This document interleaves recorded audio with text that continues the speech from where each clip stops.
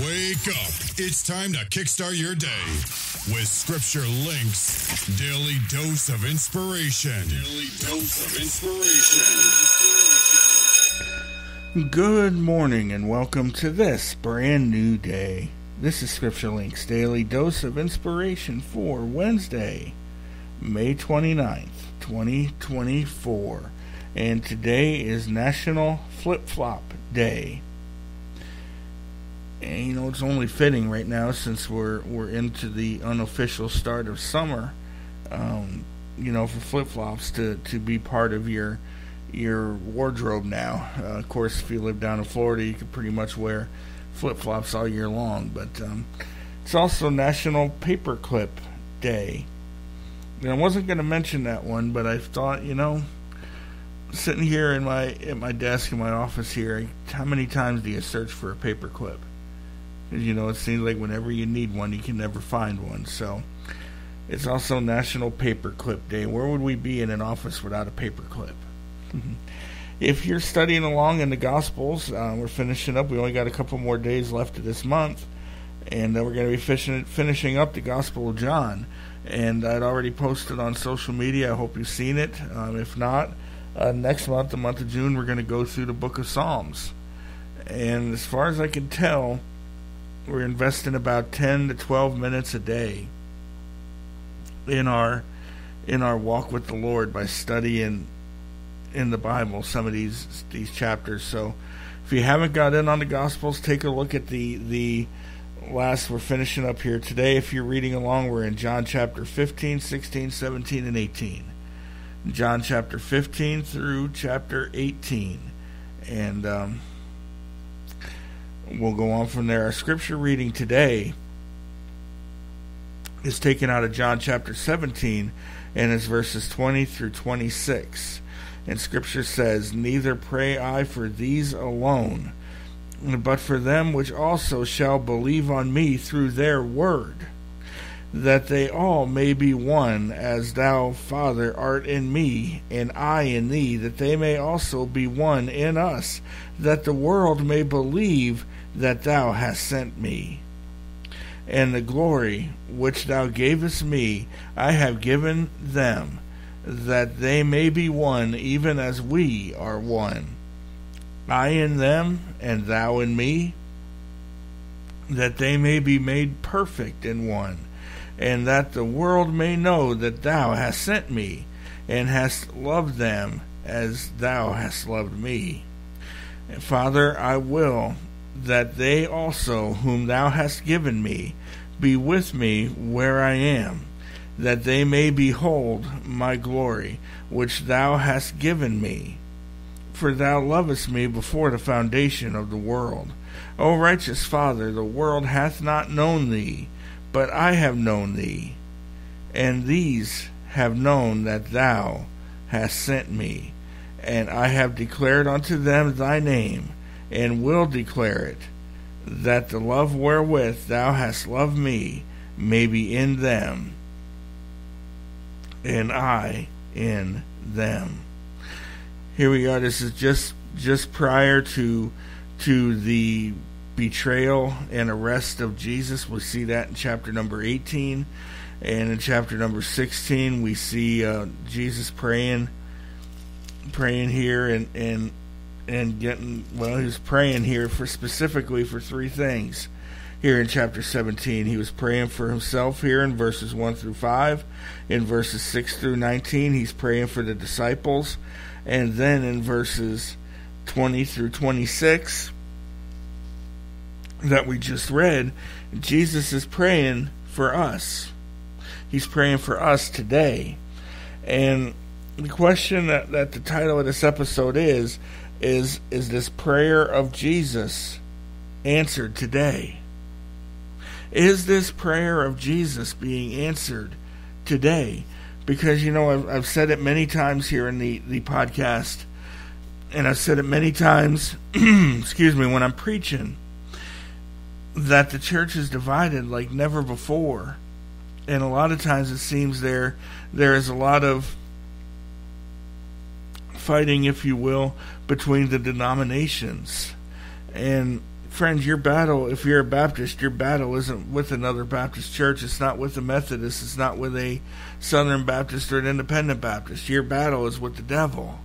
And the devil is succeeding at getting the churches separated. But Jesus is praying for us here. He says in verse 20, Neither I pray for these alone. He's referring back to what he just prayed for for the disciples. He said, But for them also which shall believe on me through their word. That's how we came to belief in Jesus, is through the word of the disciples. Somebody else witnessed us because of what the disciples did, and so that's how we we came to Christ, is by the word of the disciples. In fact, if you go over a little bit to John chapter 20, you'll read it in a couple of days.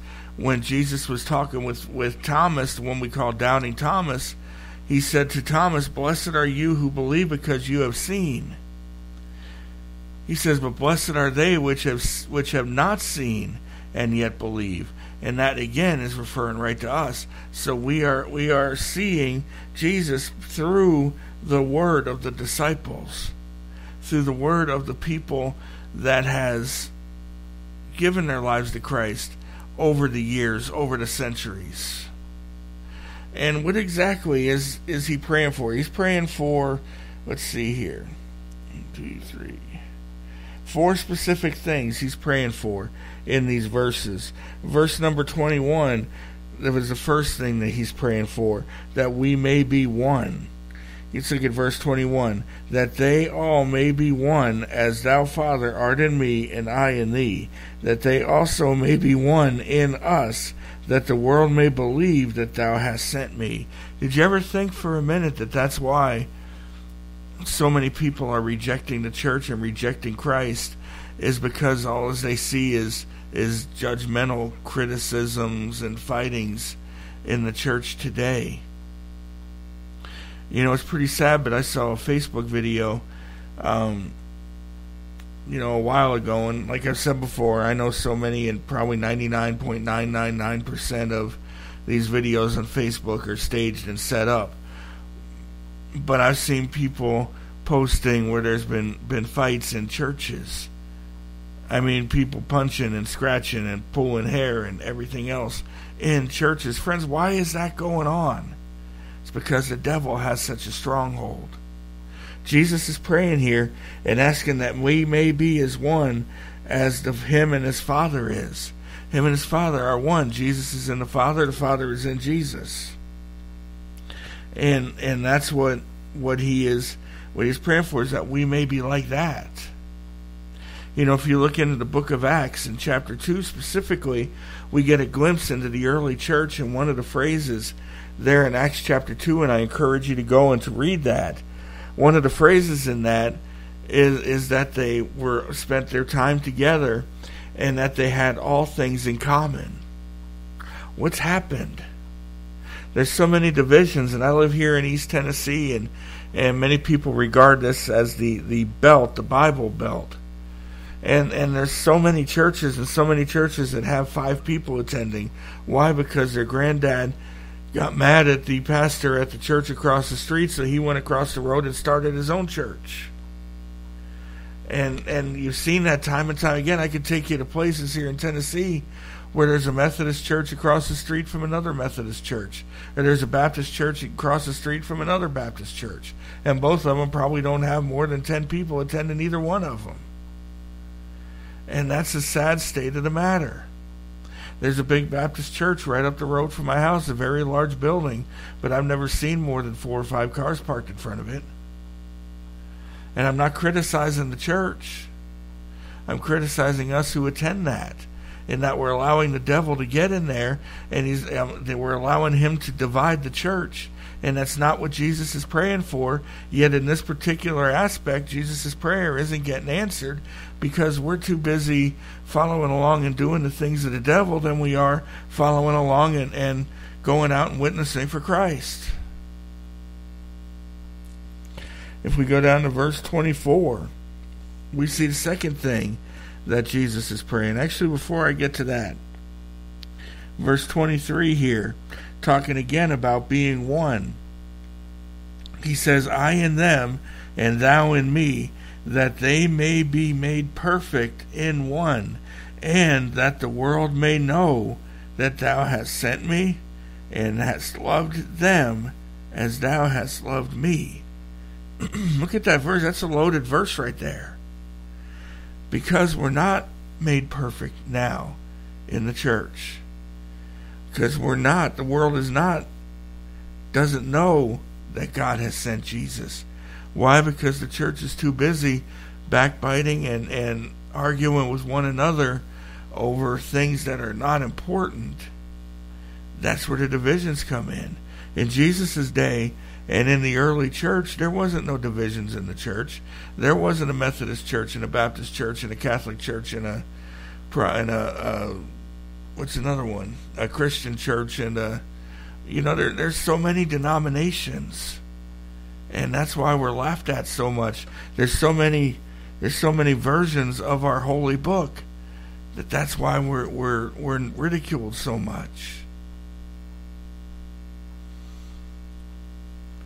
But Jesus said here that we need to be as one. He prayed that we would be one.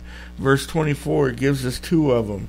He says here, Father, I will that, that they also, whom thou hast given me, be with me where I am, That's the second thing he's asking for.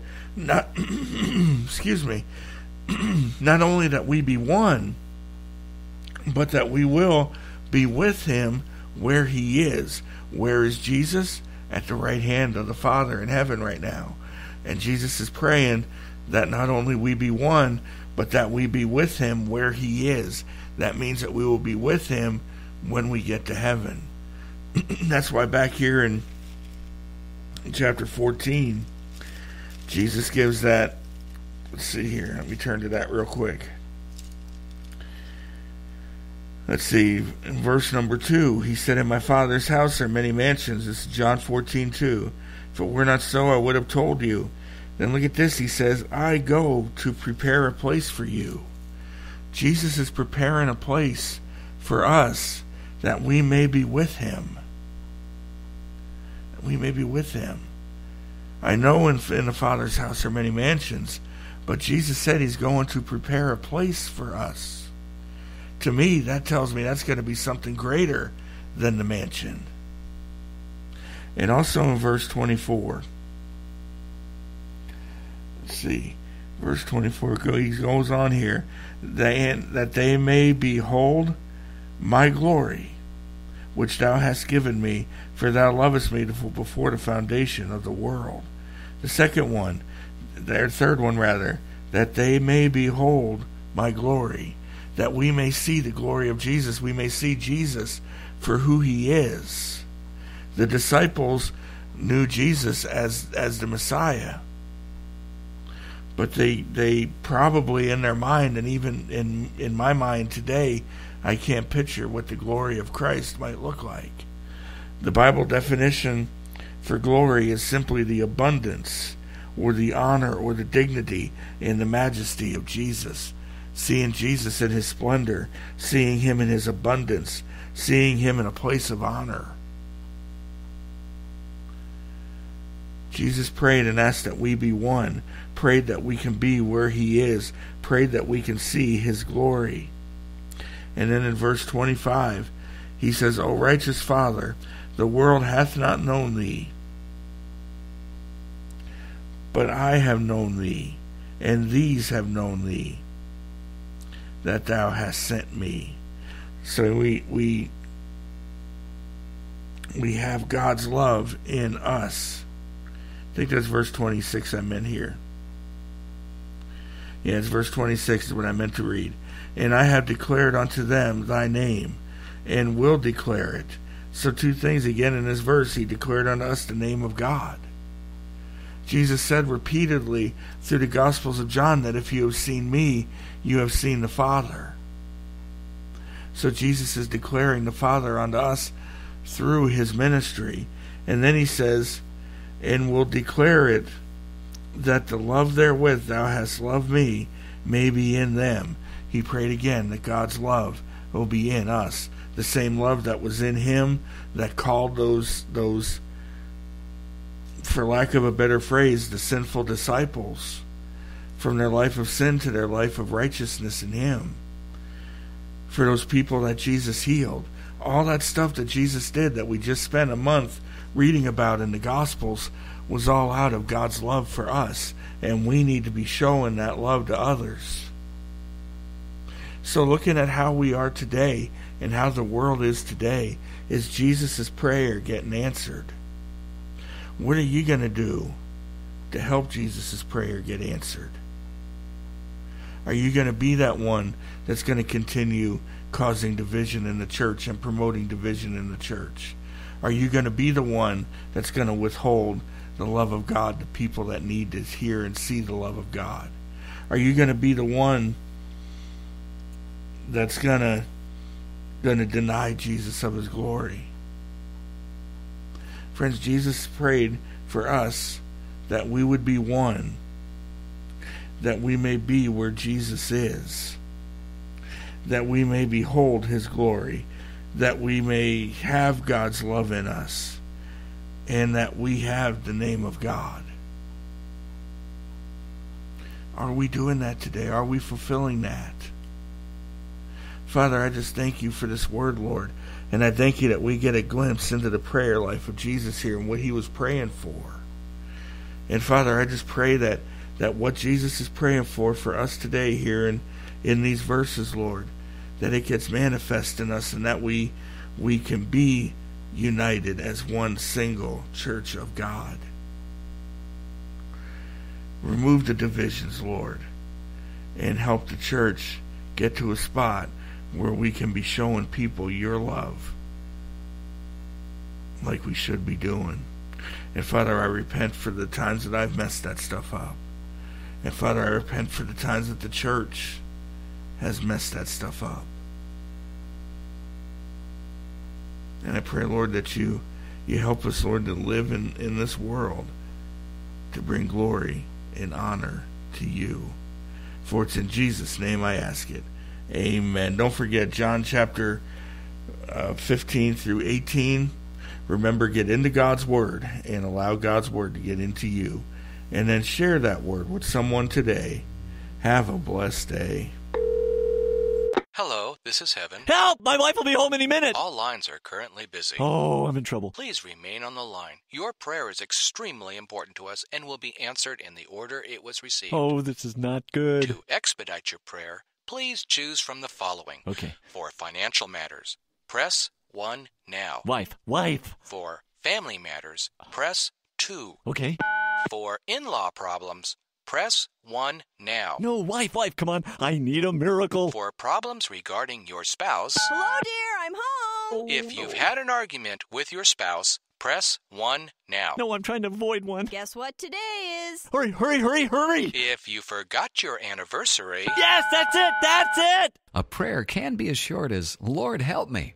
Isn't it nice to know that God doesn't have an answering service and that He is always there? Another message from Lifeline Productions, the comic strip of radio at lifelinepro.com.